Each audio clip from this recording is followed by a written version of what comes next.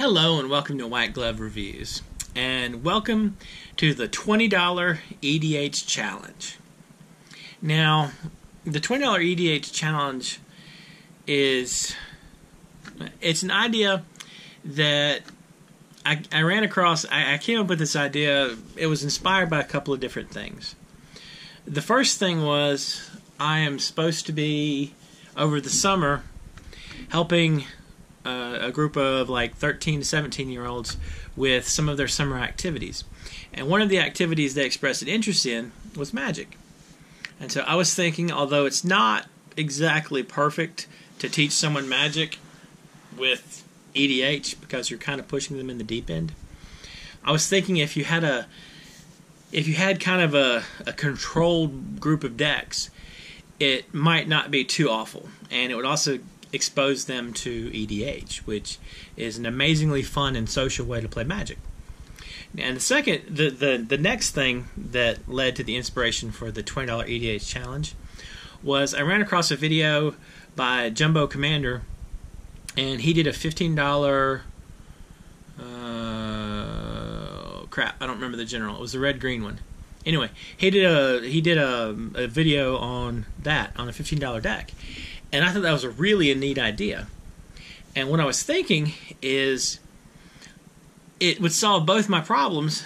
It would first of all it'd be an interesting deck building challenge.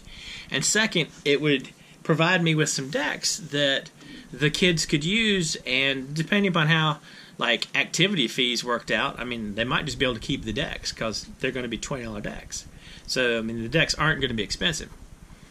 And another thing that I this is kind of a, a, a third reason I noticed lately at the it, I'd taken a little bit of time away from playing at my local card shop, and when I went back there recently, I noticed that there were two different there were like different cliques of of players.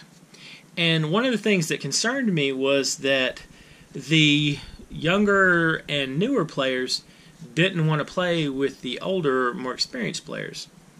And I think part of the reason for this is for the reason for this was that there was kind of the I don't know how to put it diplomatically. There's the blowout factor where older, more experienced players also tend to have a deeper card pool. And so they're just starting at a disadvantage. And if you combine that with the fact that they're more ex- more inexperienced and they haven't been playing Magic for I don't know twenty some years, it just it creates a bad situation for them. And I can see why they might not want to walk into a game where they just they have a noticeably less of a chance because of their inexperience combined with their lack of card pool that they have available. So the third thing I was thinking these decks would be good for is they they create a situation where you could play a deck and you shouldn't necessarily like you could you should be able to play it with new players and not have the you should be able to play with new players try to be as competitive as possible and avoid the feel bad blowout situation that they have, that the newer players have, while also letting them play, like encouraging them to play with more experienced players, so they can get a better grasp of some of the rules, intricacies, and that kind of thing.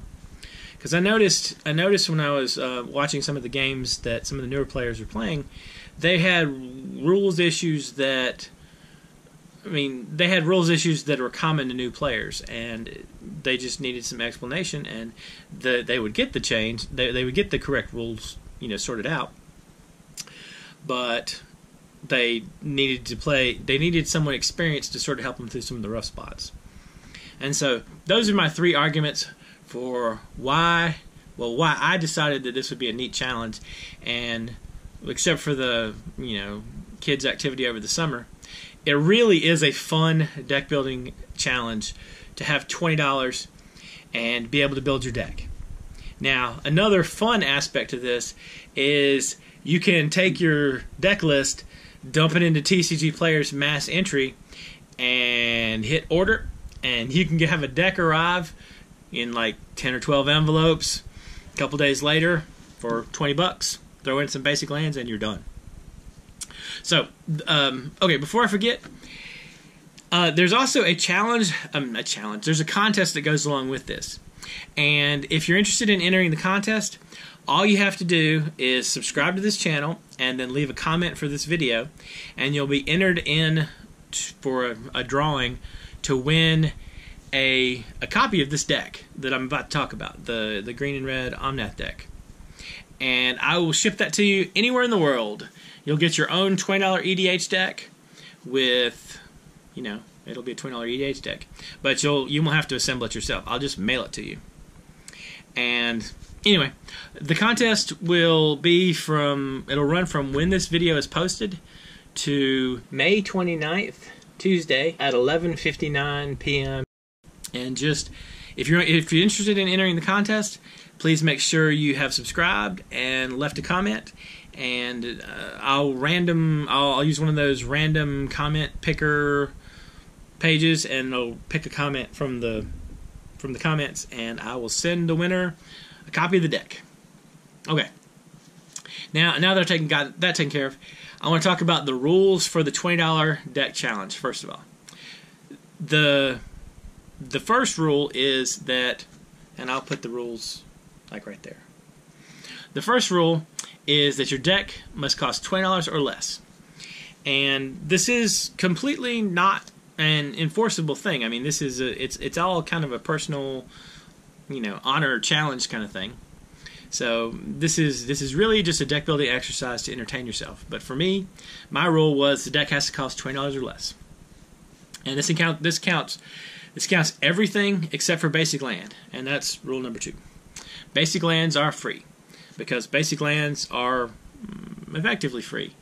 I think if you hunted around, you could get them for like ten dollars per thousand or something like that. So they and they might be a penny each. I just decided that for my own sanity, I didn't want to have to worry about counting my basic lands, so they're free. I've got a box of them or two boxes of them around somewhere, and I'll just root through the box. Okay, rule number three: for getting the prices for your cards, what what I'm using is I'm using Scryfall and what I'm doing is I just look at the list of prices on Scryfall, and then whatever the cheapest price is, I will note that, as you can see from my crazy person notes. I'll just note that on my page whenever I look up the card, and then that way, that's going to be the price I counted as. Now, number four is related to the prices as well. The prices are set at the point where I look them up. If I go back and I look up the price later and it changes, I will update it. But in general, just for sanity's sake, rule number four is the prices are set at the point when you look them up. And the reason for this is I don't want to have to have a crazy moving target when I'm trying to build my deck. I don't want, say, Ogre Battle Driver to go from 26 cents to 13 cents or from 26 cents to 39 cents between when I look it up and when I try to build my deck. I just it just magic prices fluctuate too much and it just it's it's too much of a headache to to not have to not have at least semi set prices for when you're trying to build the deck. And that's pretty much it. 20 bucks. Look them up on Scryfall. Basic lands are free. And that's really the whole thing. Now, the challenge that I wanted to do for myself is initially I wanted to build one deck. And my first deck was going to be Omnath Locus of Rage. But when I started working on it, I decided I kind of liked the idea. And I decided I was going to build one for each of the allied colors to start out with. And this video is going to talk about Omnath Locus of Rage and I will make future. I'll make four more videos dealing with my next four decks.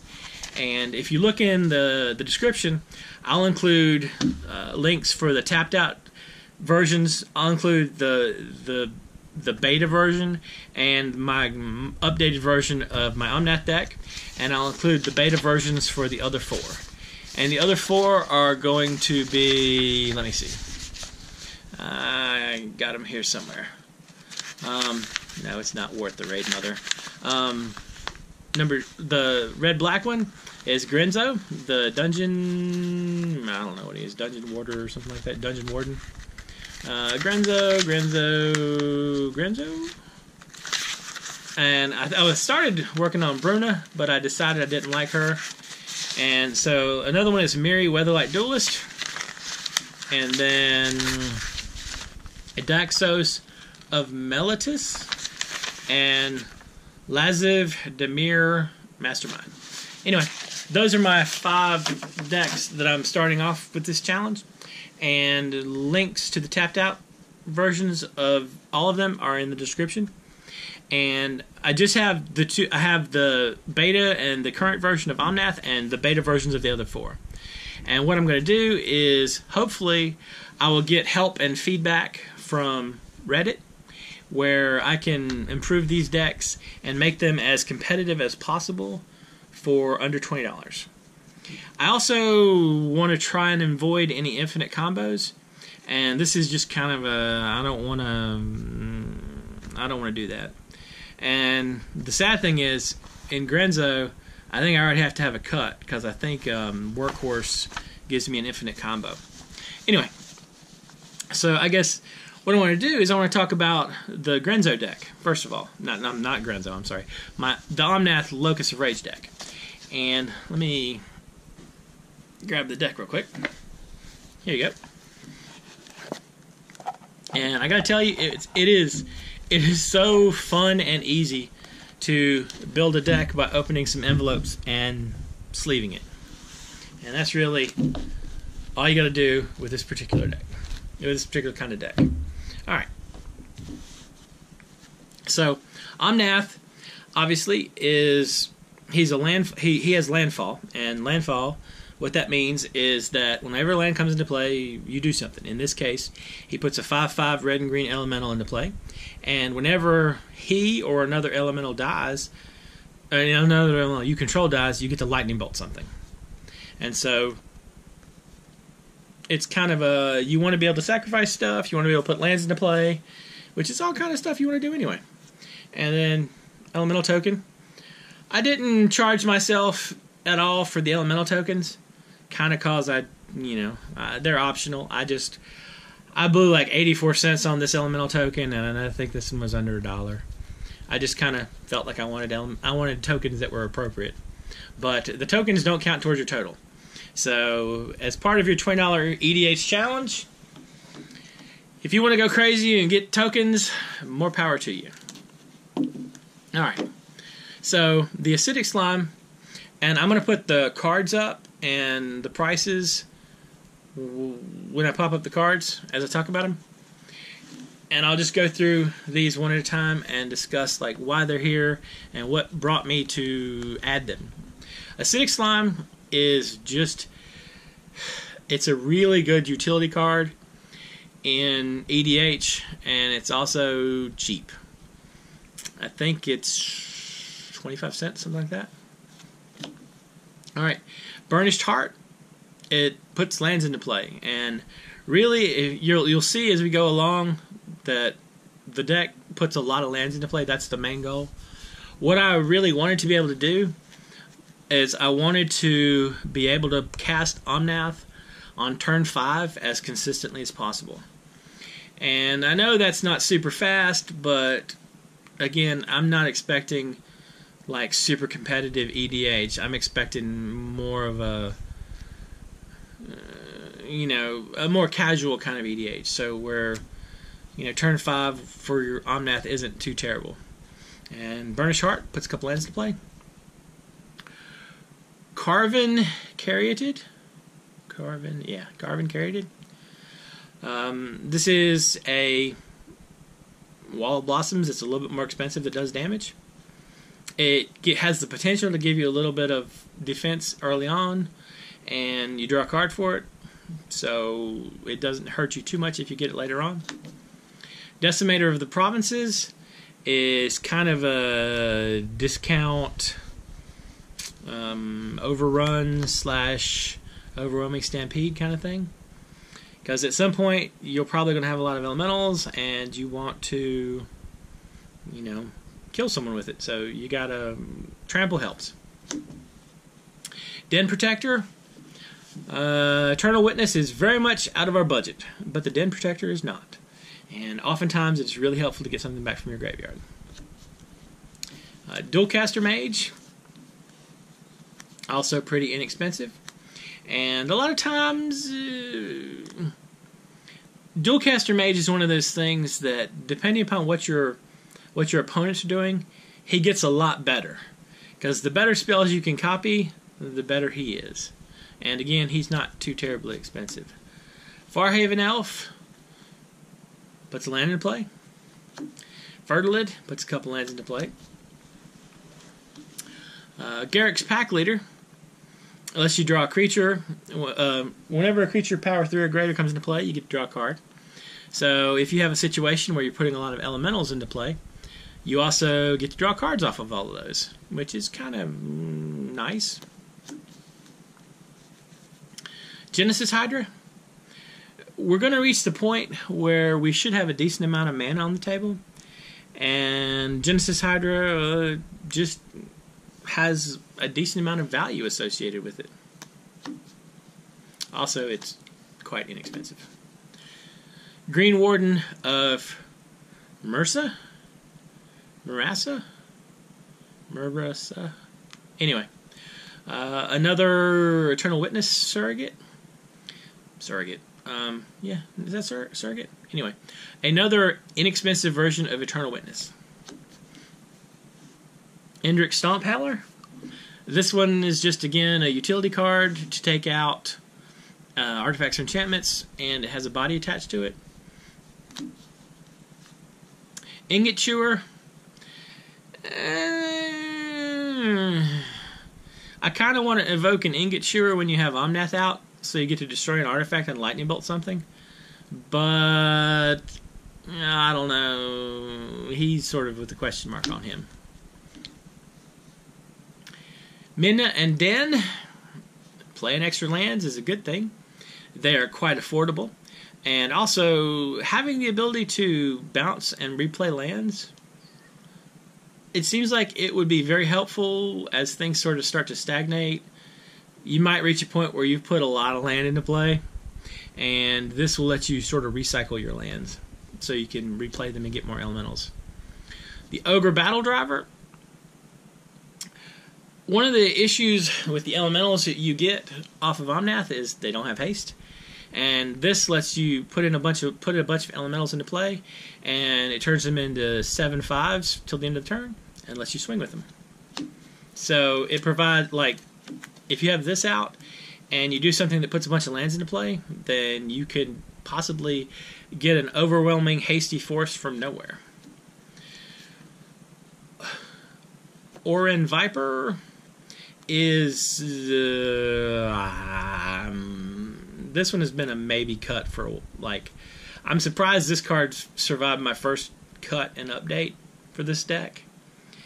Eh, but uh, sometimes you just need a little guy to possibly play at the beginning to draw you some cards. But the problem is he feels like a dead card late game. Next you have Realm Seekers and a deck that is built around putting lands into play. Realm Seekers gets you more lands, and it also has the potential to give you a ridiculously large creature just for six mana. Sandstone Oracle is some cheap card draw. Well, not not exactly cheap. It's financially inexpensive card draw. It's expensive mana wise, but it also has the potential to get you a good deal of cards if you start to run low and your hand starts to run out.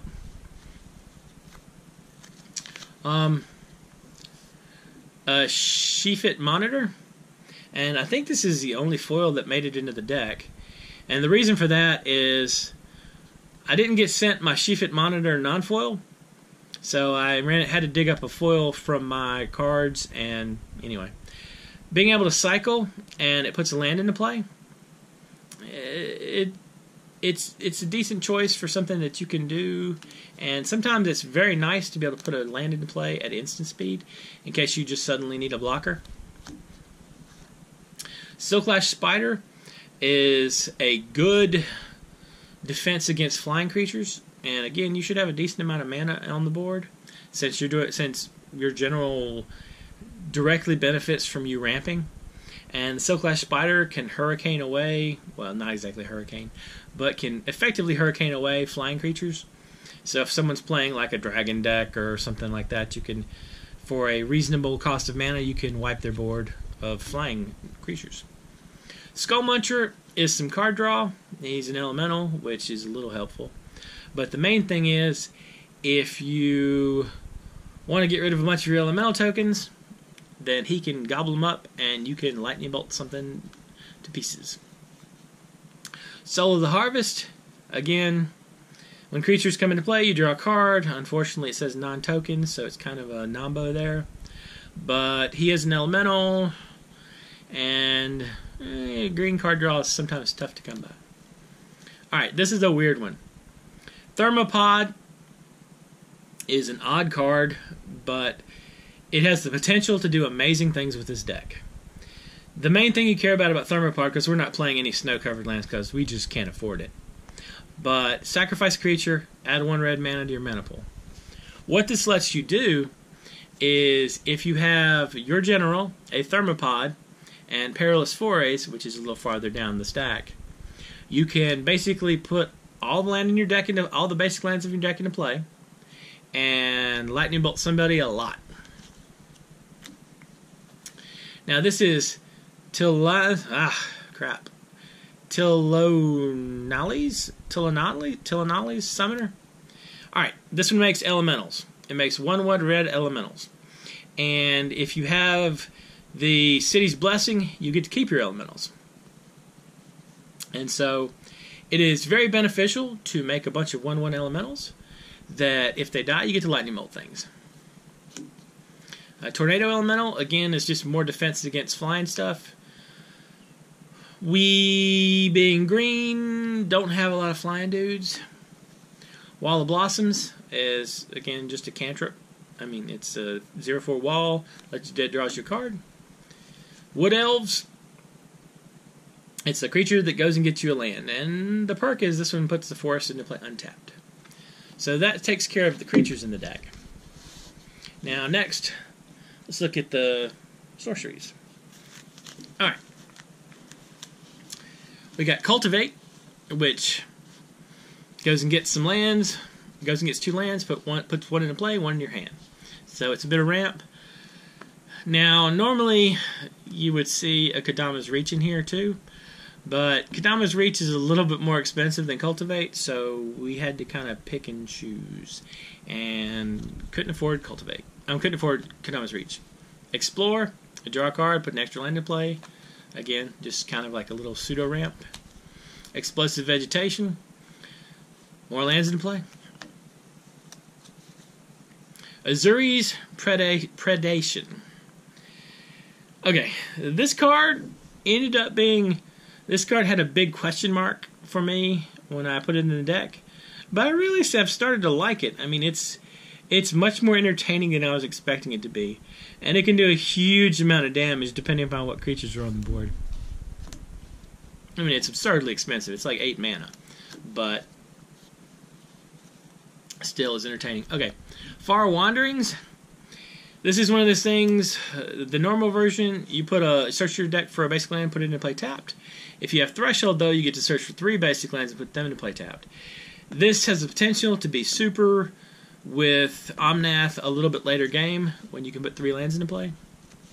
All right, Firecat Blitz. Now this card has some very important, very important errata. It makes cat elemental creatures, so you make a bunch of elementals with this. Now, you remove them from the game at the end of the turn, which is a little unfortunate, but if you have one of the means to sacrifice things, this could be very damaging if you can sacrifice them before they go away. And it also has the potential to be a game ender because you can flash it back if you have a bunch of mountains on the table, and then you can double up on the elementals for like a game ender. Harmonize is just some solid card draw. In green, it's kind of mm, not as easy to get as you might think. Harvest season. Harvest Season is one of those ones that I really want it to be good, but I just don't know. It hasn't it hasn't shown its amazingness in this deck yet, but I have high hopes. I'd like to see a situation where I get to attack with like Omnath and three or four other elementals, and then put three or four more elementals into play. So anyway, I'm I think this one's going to show its value, good or bad, after more play. Heat Shimmer is just kind of an interesting trick that lets you copy the best thing on the table or anything that helps you out at the time. It's a sorcery, so it's not going to be like a super trick, but it is often pretty helpful to be able to do that. Hull Breach. I have been surprised how much I like this card. Destroy an artifact or an enchantment or an artifact and an enchantment. It's just a good, versatile two for one or potential two for one. Journey of Discovery is more ramp, and in this case, it is. Hmm, you probably are going to want to cast it for six and get both. Like, get two lands and put two extra lands into play. Nissa's Expedition, more lands into play. Nissa's Pilgrimage, more lands into play.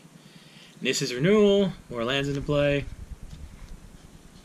Overrun and Overwhelming Stampede are both for the points where an army starts to develop, an army of elementals starts to develop, and you want to have the chance of ending a game by stampeding or overrunning someone. Peregrination is just putting more lands into play. Rampant Growth, more lands into play. Ranger's Path, Search for Tomorrow, more lands into play. Shaman, sham, uh, shamanic, shamanic, uh, shamanic revelation. Again, card draw and potential life gain. If you are making good progress in the elemental, elemental department, you could gain a lot of life off of this. Soul's Majesty. Again, you're probably going to count on about five cards from this because either Omnath or some elementals are going to be probably what you have. And Wave of Vitriol. We have a couple of artifacts, we have a couple of enchantments, and that's about all that is going to happen to us. And we don't have that many, so it doesn't matter that much. This could be that thing that saves us from being thoroughly overwhelmed. From inconvenient things that I don't know. It's just kind of a. Mm, I'm on the fence about this one. I have high hopes for trying it out. It hasn't been amazing yet, but hopefully it'll get there. Seer Sundial. This is just a little bit of card draw since we are putting lots and lots of lands into play. Wayfarer's Bauble. Because of lots and lots of lands. Now, let me see. Ah, here we go. Okay. Instants and enchantments. Comet Storm is affordable and it's a good option to have a way to do some direct damage, especially with all of the ramping we're going to do. We have potential to have a decent amount of mana, and Comet Storm could be a board clearer or a game ender. Destructive Revelry is just an answer to inconvenient artifacts or enchantments. It's an instant, and the two damage is really negligible, but it doesn't it doesn't hurt. Grab the Reins is if we end up with a really large Realm Seekers, or if somebody has a ridiculously large creature, we can steal it and throw it at them. And sometimes it's good to just have a trick where you can grab a creature. And anyway, it's just good to have tricks. Harrow is in here because it gets lands at instant speed, which is kind of unusual as cards go. And it lets us put two elementals into play if we have Omnath out. And that could be very helpful for blocking and possibly keeping us alive. Wild Ricochet. Again, just copying a spell and retargeting another spell. It's pretty good to be able to do sometimes. Now, enchantment wise, we have four of them. We've got Evolutionary Leap, which lets us sacrifice creatures, and I want to be able to sacrifice elementals if I need to. And it gets us more cards, so we get a little card advantage there. It gets us more creatures to cast. Font of Fertility it puts a land into play. And one of the upsides is it it could be done as an instant, but probably what's going to happen is, you know, turn one you do this, turn two you use it. You play it and use it. All right, uh, Impact Tremors. Eh, I'm kind of on the fence about this, but I was thinking that if we're putting a bunch of elementals into play, and we have a number of ways to do it, especially with Omnath and with Firecat Blitz and the unpronounceable word Summoner being able to put being able to do damage as you put creatures into play it's just kind of one of those things to help whittle everyone down. And perilous forays where we can sacrifice a creature to search our library for a land with the basic land type and put it in play tapped if you have omnath out and you have a bunch of mana you can basically just you know get a creature sack it the elemental that pops up you sack it you get a new land and you cycle through like that. And it lets you it has the potential to let you lightning bolt something a lot while also advancing your board state by getting more lands into play. And you know you basically burn through the elementals you create with landfall. Now after that we got some lands blighted woodland and this one it just puts more lands into play i'm trying out the two deserts that are applicable to our colors the Desert of the Fervent and the Desert of the Indomitable. And these I'm torn about. I don't. I, I like being able to cycle them, but I'm kind of on the fence about them. Evolving Wilds is next. And for Evolving Wilds, again, it just goes and gets land. If we have Omnath out, it gets us two elementals instead of one. And then there's a bunch of forests. And some mountains. And then we have Terramorphic Expanse, which is pretty much the same as Evolving Wilds. And we have Warped Landscape, which is kind of like a less exciting version of Evolving Wilds or Terramorphic Expanse. I'm kind of on the fence about Warped Landscape, but again, it has potential to get us an extra land. So, anyway, that is deck number one, Omnath, for my $20 EDH challenge. If you have any questions or suggestions, let me know in the comments.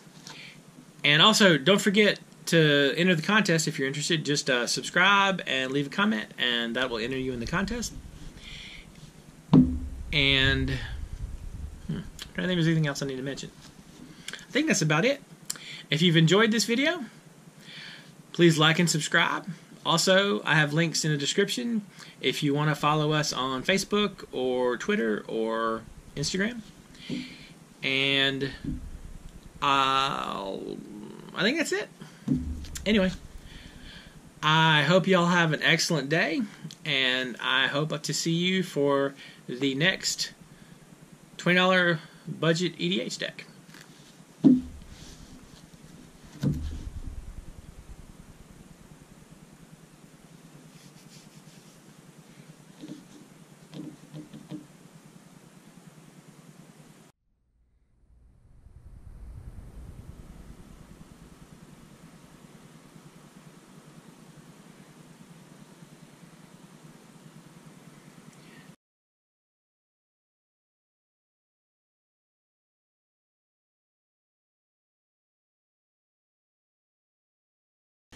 The contest will end Tuesday, May 29th at 11:59 p.m. Eastern Standard Time.